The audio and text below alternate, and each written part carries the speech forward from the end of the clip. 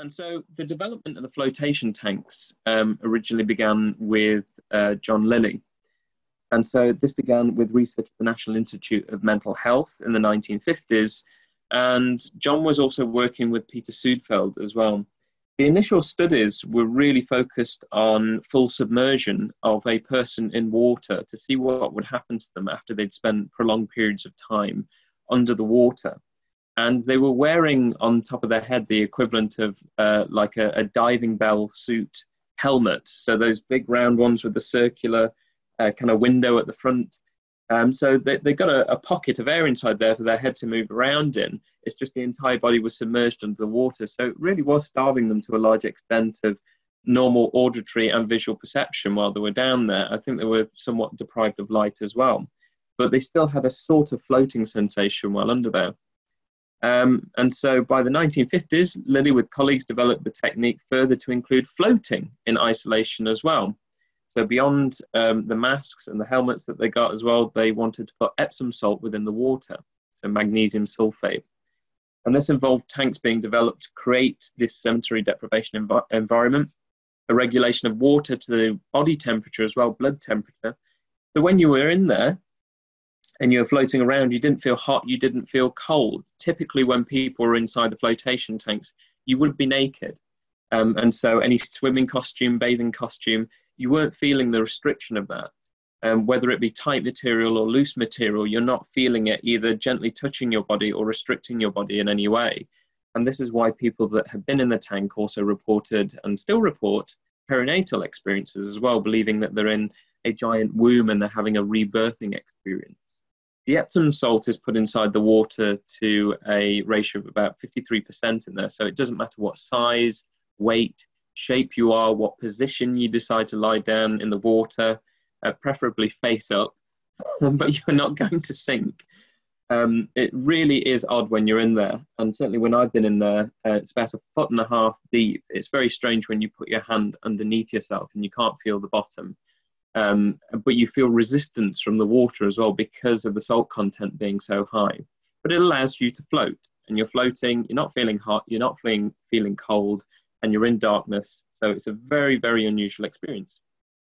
John Lilly himself spent several hours at a time inside the tanks. Um, this was also incorporated with psychedelic reactants as well.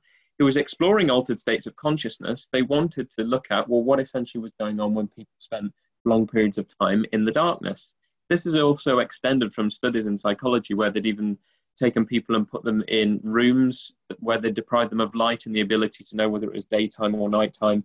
And even some studies where people, um, sorry, even some studies where people were put into um, caves and got sent to live in a cave for a few weeks to see how this would affect their um, their conscious awareness while they were in there, and also what happens to them when they came out. Um, but John was combining LSD and ketamine while he was in the tanks, and sometimes spending up to five or six hours inside the tanks as well any of you that have followed his career, it became somewhat unusual, I think, by the 1970s and 80s, um, especially with some of his work with dolphins as well. Um, I think largely some of this was to do with LSD and ketamine that uh, John was taking, but he's a very intelligent man. Um, but I think, like um, many uh, people that we look at through time that have gone to the lengths of making discoveries, sometimes their own discoveries have destroyed them somewhat. So colleagues such as Peter Suedfeld, he really went in a, a, sort of a different direction to John. He wasn't interested in exploring the psychedelic reactants to explore consciousness in the same way as John, but he still wanted to look at the, the benefits flotation and sensory deprivation. He also coined the term REST, restricted environmental stimulation therapy, and he still hosts an annual conference, which is just called Float Conference, where they have researchers and people who own commercial flotation tank centers coming together every year to talk about the latest flotation tanks and also the latest research that they're doing, which has only just started to bridge the gap between consciousness studies in this regard and neuroscience, where now we have things such as waterproof um, EEG headsets. So while people are in there, we can look at brainwave activity while they're floating. And so we have to rewind back to 1969 and as the guest dinner speaker at the Parapsychological Association's 12th annual convention, which was held in New York City, Um, and so, um, originally, before the research in parapsychology books, which was a, a, summary of the abstracts that came out, I think between 1972 and 1993, before then, the Parapsychological Association issued um, eight volumes of their proceedings in parapsychology. And the great thing was they transcribed all the kinds of talks that went on, including the guest dinner speech.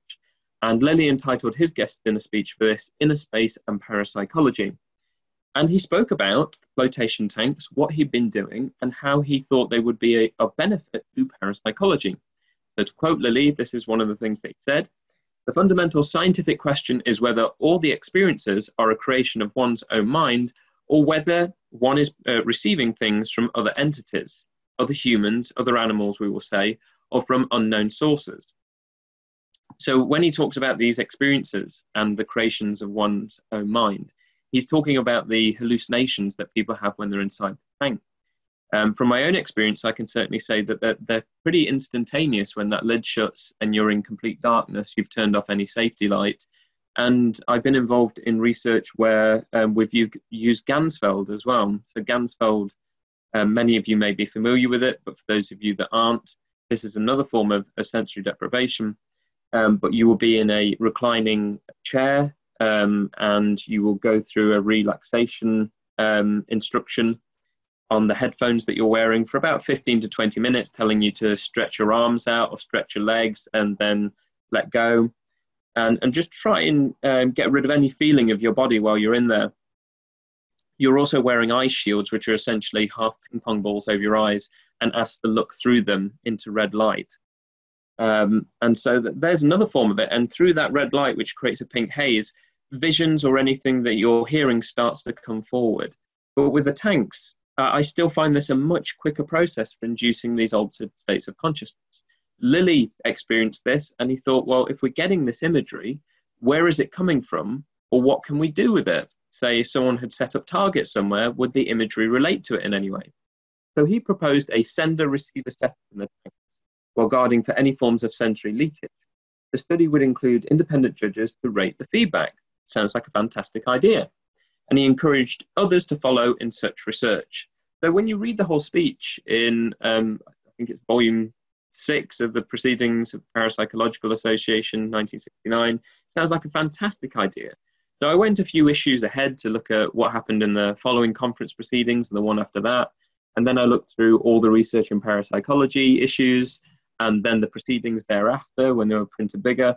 I could not find anything and then I, I trawled through all the Journal of Parapsychology, the Journal of the Society for Psychical Research, the Journal of the American Society for Psychical Research, the European Journal of Parapsychology, and on and on and on. I, I really went to the full extent with all the journals, manually going through them, checking the indexes, and then even then going from page to page looking for things, trying to look for key things in titles and studies. Very few things came up. And so I wanted to know why because I'd been to so many conferences for psychical research and parapsychology worldwide. Um, usually, when we took a break, had a coffee break, or we were having dinner, sometimes people would mention flotation tanks and getting one installed in a university that's doing parapsychology research and having a bit of a laugh and banter about it.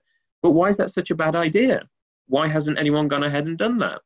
Um, and so I was trying to fit all of these pieces together and find out what was going on. And so throughout exhaustive literature review, in which I did find some things, which I'll mention um, later, um, I also looked for references to parapsychology using the tanks in some way or the flotation method to explore the limits of human consciousness. And so the furthest back that I could go, and some people had mentioned it when I was doing this research, they, they'd seen this film. One is The Mindbenders with um, Dirk Bogarde and I think Mary Ure, who was the wife of the Jaws actor Robert Shaw. Um, they star in this film, The Mindbenders, and it is about a group of scientists at a university exploring isolation and wanting to know what this does to the uh, human consciousness, or as they refer to it, the human soul. And so they go uh, from a very crude method, which you can see in the top left-hand corner there, where someone is effectively in a diving bell suit, um, but they're, they're hooked in and they're suspended in the middle of the tank um, that does not contain Epsom salt, it's just ordinary water um, and they want to know what happens to someone while they're in that state. And so I've included a little clip for you. hopefully this works fine and you can all hear it. What makes you think it's got anything to do with temperature? It hadn't anything to do with low temperature. Bon Vouloir and our student guinea pigs had been affected not by the cold, but by their prolonged isolation.